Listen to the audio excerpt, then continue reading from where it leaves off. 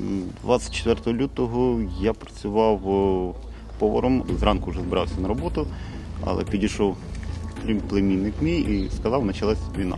Після обіду я вже созвонився з воєнкоматом, е, дізнався, чи можу в Києві піти в воєнкомат.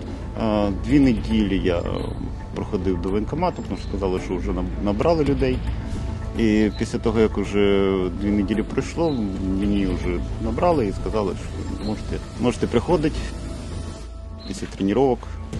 Нас направили спочатку Чернігівську область, е, де ми е, після того, як пішли орки, ми організували оборонну лінію е, біля границі з Білорусією і через три місяці нас замінили інші наші побратими, і ми уїхали на Донецьк в сторону Мар'янки.